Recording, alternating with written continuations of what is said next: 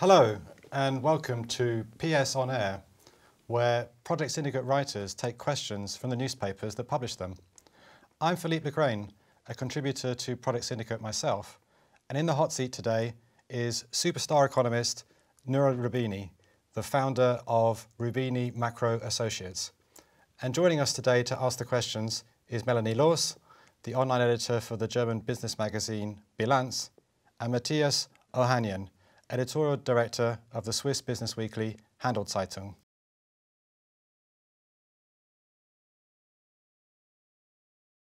Nouriel, great to have you with us, especially because your vocal cords are under strain, so you're really making an exceptional effort uh, to be here.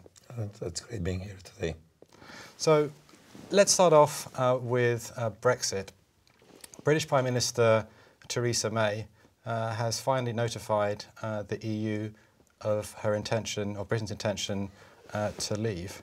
Uh, when uh, do you think uh, that the impact of Brexit on the UK economy is going to be felt, and how severe do you think it'll be? Well, initially, after the Brexit vote, the economy did not slow down because consumer and business confidence were sustained and there was massive monetary, fiscal, and credit easing and the weakness of the pound and lower interest rates helped maintain economic growth. However, there is already some evidence that the UK economy is slowing down now. Uh, inflation is picking up, nominal wages are not rising, real wages are being squeezed. Houses are cut back on their savings, but there's a limit how much they can borrow. And the business sector is also becoming somehow more cautious. So, what are they saying? Gradual slowdown. In my view, uh, the extent of that slowdown is going to depend on the state of negotiation. If there are going to be bad news, there is a clash on the two sides, that's going to have a negative impact on business and consumer confidence, and it's going to lead to further slowdown of the economy. Uh, secondly, there'll be impacts on financial markets, including a possible correction of stock prices that might have a negative impact. But over the medium long term, the impact is going to be that whatever agreement is reached, there'll be restriction to trade and restriction to migration, and therefore the potential growth rate of the United Kingdom is going to be lower. What do you think? How will the Brexit um, weigh on the European economy? Well, initially there has not been an impact of Brexit on the European economy. There's been actually a pickup of economic growth in Europe and the Eurozone in part because uh, there's been reform, in part because there is less fiscal austerity, in part because the European Central Bank has been very aggressive in easing monetary policy in very unconventional way. And there is also an improvement in the balance sheets, less deleveraging and so on. So actually the Eurozone economy last year did fine. And even this year, there has been um, a pickup of economic growth. And the financial links and the trade links between uh, United Kingdom and Europe are important, but since there has not been a slowdown of the UK economy, there has not been also a slowdown of the European economy. Now, if uh, the Brexit negotiations were becoming particularly tense, you might have an impact on business and consumer confidence. And if, of course, uh, the divorce was going to be a painful a divorce that is ugly and if that leads to signals that other economies in the Eurozone and Europe might decide to also, over time, leave the European Union, the impacts could be more significant. And there is also the political dimension that Brexit might actually lead to a breakup of the United Kingdom, uh, maybe Scottish independence, maybe a referendum in Northern Ireland that might lead them to unify with Ireland the impact of those things are going to be important because if Scotland or Northern Ireland move on, then maybe the Catalans in Spain are going to say, me too, me too, and they want independence from Spain, for example. And then you're going to start to see concerns about further disintegration of the Eurozone.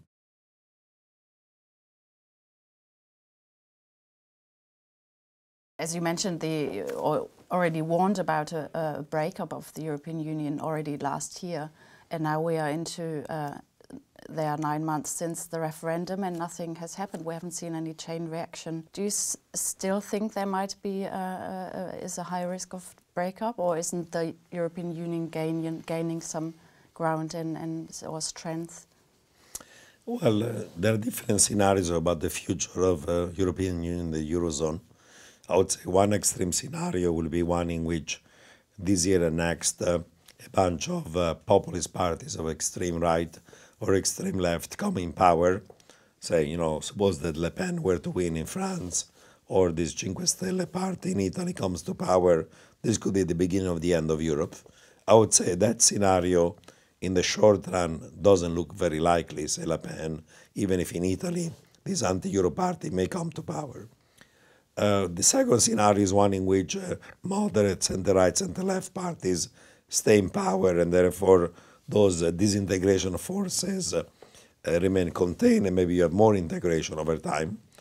But I think that there is a third scenario that maybe is the most likely one, is one in which the populists maybe don't come to power today, but they become uh, politically influential and they can constrain what mainstream party can do in terms of greater European integration.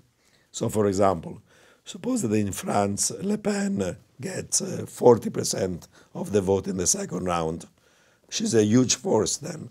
And then the extreme left of the Socialist Party and communists are also going to be in the street saying, we want less reform, less integration. That can constrain what, say, Macron could do, who might not even have a parliamentary majority. So the point is, populist parties of right and left may remain popular throughout Europe, core and periphery, even if they're not in power, there is not a lot of political capital that the mainstream party can invest into more integration.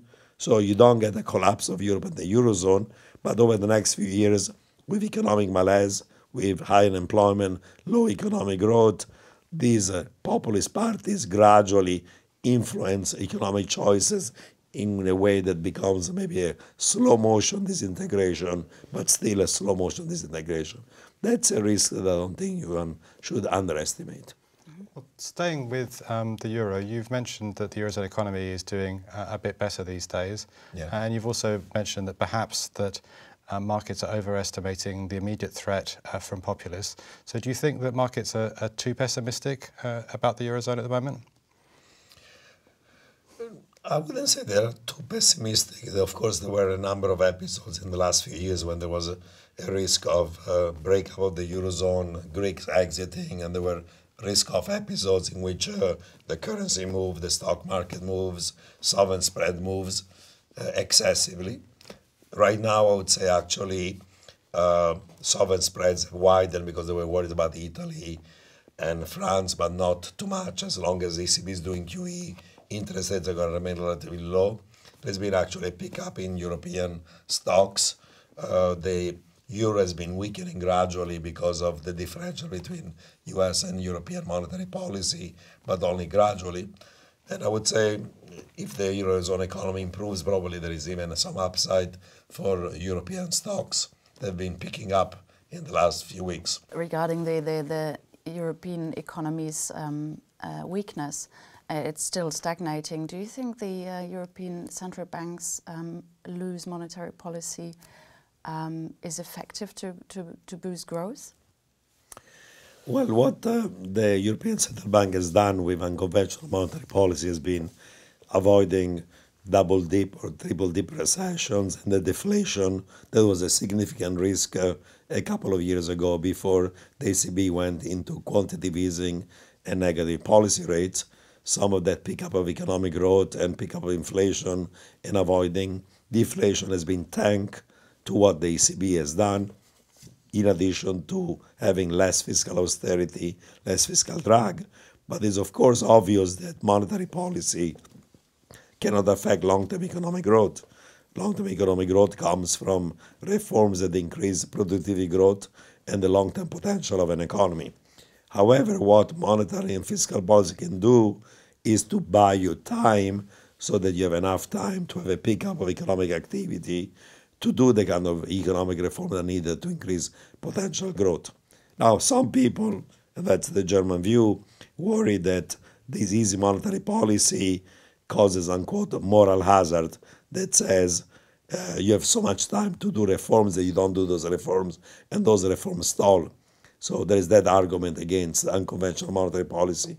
I don't buy that argument because if there is not economic growth, if there is no job creation, if there is no real income growth, politically, for governments who have to make tough reforms, austerity, sacrifices, if there is no light at the end of the tunnel, it becomes harder to do those reforms. Um, European countries, the southern countries, already did a lot of austerity. Do you think it is enough today, now, after like five or six years of austerity, or is there more austerity needed? Well, the answer depends on, on the country. Uh, Italy is already below 3% uh, yes. deficit and have the primary surplus, but the debt ratio is high, and therefore, gradually over time, they have to reduce that debt ratio. Countries like uh, uh in the periphery, like Spain and Portugal, are still above 3%. Even France, as a member of core, is above 4%. I think the debate on austerity is tricky because, on one side, of course, you have to reduce deficits in order to make debt sustainable. Otherwise, eventually, there is a risk of a debt crisis. On the other side, whether you like it or not, in the short run, raising taxes and cutting government spending as a fiscal drag in terms of reducing aggregate demand and therefore slows down economic growth and then leads to a buildup of those debt ratios. So I don't think there is a disagreement on the need for gradual fiscal austerity. The question is how much you want to front load it, how much you want to backload it, whether if you do more structural reform, increase potential growth, you should be given slack on achieving your fiscal targets or not. And of course, there are arguments one way or another.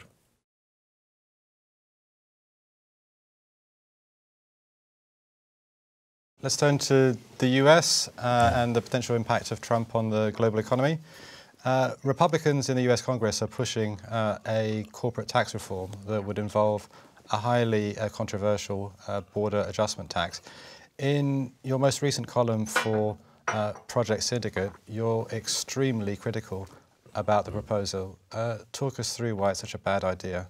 Well, this border adjustment tax is a bad idea for several reasons. Reason number one, it might be WTO illegal and if you pass it, then you ignore the WTO. There's a risk of retaliation and trade wars. The second reason is uh, is protectionist, and you are giving a signal that you're going to become even more protectionist than you are right now. Third of all, uh, some firms that are exporting are going to do very well. Those that are in the import sectors are going to be hurt. Massive increase in their tax liabilities. Some of them might become insolvent go out of business. So there are massive redistributional effects within the corporate sector that are not fair. Additionally, it's a pretty regressive uh, tax. You're doing a corporate tax cut that goes to the rich and the corporates, while an increase in import tariffs is going to imply that the bottom 10% of the population, those who buy cheap goods from China and emerging markets, are going to have an increase in their tax burden. So it's very regressive tax. Additionally, the value of the dollar may react to this uh, restriction by strengthening and undoing the protectionist effect. So it's going to be a bit of a wash.